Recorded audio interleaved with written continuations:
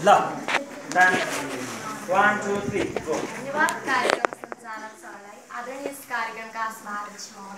दुधको दुध पानीको पानी छिट्याउनु सम्मानित गुरुहरू तथा मेरा प्रतिनिधि तथा प्रतिनिधि साथीहरू आज मिति दुई हजार क्षेत्र साल दुई महिना सत्र गते यस श्री मालिका माध्यमिक विद्यालयको प्राङ्गणमा हुन गइरहेको वक्तृत्व कला प्रतियोगितामा म कक्षा दसमा अध्ययनरत गर्ने छात्र आयुष्मा थापा तपाईँहरू सामु यस समाज परि समाज परिवर्तनमा विद्यार्थीको भूमिका भन्ने विषयमा आफ्ना मनमा लागेका दुई चार शब्दहरू तपाईँहरू सामु राख्न पाउँदा अत्यन्तै खुसीको महसुस गरेकी छु। र म यस विद्यालयप्रति आभार प्रकट गर्न चाहन्छु किनकि उहाँहरूले यस्तो सान्दर्भिक विषयलाई यस वक्तृत्व कलामा समावेश गर्नुभयो। यस विषयमा विद्यार्थीहरू बिच बहस हुने जरुरी छ। र सर्वप्रथम समाज भनेको निश्चित भौगोलिक क्षेत्रमा बसोबास गर्ने मानिसको समूहलाई समाज भनिन्छ र विद्यार्थी भनेको विद्यार्जन गर्ने व्यक्ति। समाज र विद्या समाज र विद्यार्थी एक रथका दुई पाङ्ग्राहरू। एउटा समाज एउटा स्वरूपबाट अर्को स्वरूपमा रूपान्तरण हुनुलाई नै समाज परिवर्तन भनिन्छ। समाज परिवर्तनमा विद्यार्थीको महत्त्वपूर्ण स्थान छ। समाजको मुहार फेरबेदल गर्न विद्यार्थी वर्ग मात्र विद्यार्थी वर्गबाट मात्र सम्भव छ। अब हामी विद्यार्थीहरूले कसैले पनि समाजको परिवर्तन गर्दैछ गर्दछ भनेर आश लिएर बस्नु हुँदैन। भोलि गएर हाम्रो समाज हाम्रो काँधमा काँधमा हुनेछ। भोलि हामी यस समाजका सञ्चालकहरू हौँ।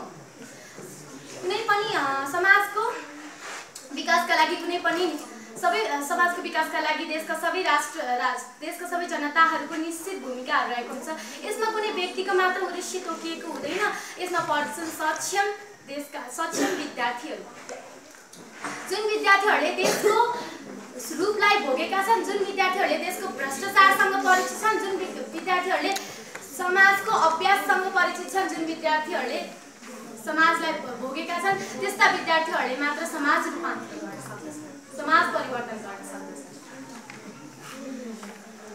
समाज परिवर्तन गर्छन् र समाजमा विभिन्न प- किसिमका समस्या चुनौती समस्याहरू रहेका छन् तर ती चुनौतीहरूलाई समाधान गर्नको लागि सर्वप्रथम विद्यार्थीहरू सचेत हुनुपर्छ आफूमा भएको विकृतिलाई हटाएर मात्र आफ्ना आफूमा भएको विकृतिलाई हटाएर मात्र विद्यार्थीहरूले समाज रूपान्तरण गर्न सक्दछन् यो नै विद्यार्थीहरूको पहिलो र कुनै मानिस कुनै पनि मानिस स्वतः जन्म लिएको हुँदैन र जन्म लिइसकेपछि निरुद्देश्य रहन पनि सक्दैन। आगो आफू जलेर खरानी हुन्छ तर यसले सबैलाई उज्यालो उज्यालो र न्यानोपना प्रदान गर्दछ पानीको खासै केही उद्देश्य हुँदैन तर यो निरन्तर बगिरहन्छ र आफू समाजको आफू निरन्तर आफ्नो कर्ममा निरन्तर अगाडि बढिरहने प्रेरणा दिन्छ माटोले प्रतिफलमा केही पनि प्राप्त गर्दैन तर यसले सबै संसारलाई जीवनदान दिएको हुन्छ निर्जीव भए पनि माटो पानी र माटो पानी र आगोले यति महत्त्वपूर्ण संसारलाई जीवनदान दिइरहेका हुन्छन् हामी विद्यार्थीहरू त सजीव हामीमा यो चेतना छ कि हामीले समाजमा कसरी परिवर्तन गर्न सक्छौँ भन्ने। त्यसैले हामी विद्यार्थीहरूले समाजको परिवर्तनमा महत्त्वपूर्ण भूमिका खेल्नु पर्दछ।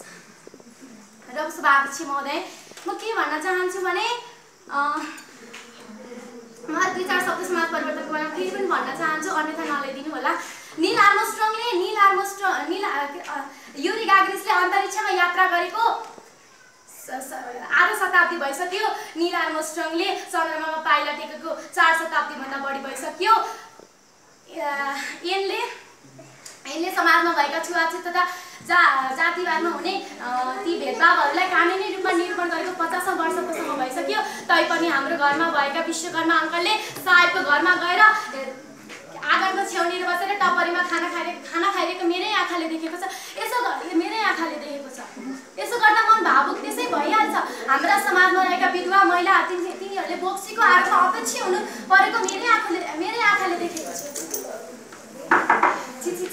यस्तो एक्काइसौँ शताब्दीमा आएर पनि मैले समाजमा यस्ता विभिन्न किसिमका विकृतिहरू देख्नु पर्दछ यसलाई हटाउनको लागि नै हामी हामी विद्यार्थीहरूले समाज समाज परिवर्तन गर्नुपर्दछ।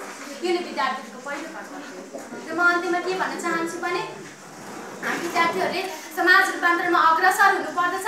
समाज रूपान्तरण गर्न हामी विद्यार्थीहरूको पहिलो कर्तव्य हो। यसका लागि हामी समाजमा रहेका विकृति विसङ्गति अन्य अत्याचार शोषण दमन सबै खाले उत्पीडनबाट हामी विद्यार्थीहरू टाढा रहेर समाजलाई एउटा सचेत परिवर्तनमा छुट्याउन सक्नुपर्दछ। यति भन्दै मेरो